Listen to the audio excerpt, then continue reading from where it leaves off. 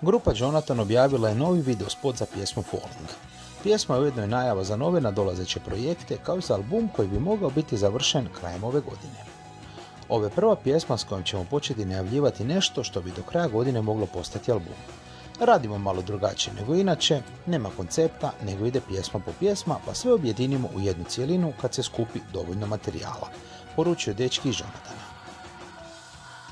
Nedavno im je stručna komisija nezavisne novinarske glazbene nagrade Rock and Off dodijelila nagradu u kategoriji konceptnog izvođača godine za proteklu godinu. A u najavi je objavljivanje specijalnog limitiranog deluxe dvostrukog vinilnog izdanja albuma To Love iz 2017. To Hold iz 2018. koji će krenuti u prodaju kroz desetak dana.